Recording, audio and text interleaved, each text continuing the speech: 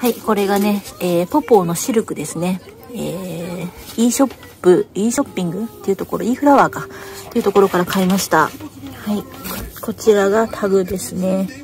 e フラワー。で、えー、なんかね、テープがすごい貼ってあって、これね、なんか開きづらいですね。開ける後のこと、梱包で土こぼれは完璧なんでしょうけど、開ける時のことを考えるともうこれ最悪ですね。はい。で、えー、継ぎ木なので、ここに継ぎ木テープがあります。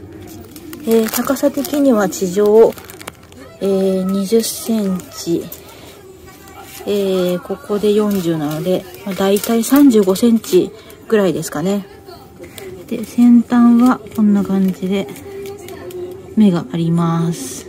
はい。あとは、こんな感じかな。映らない。はい。以上です。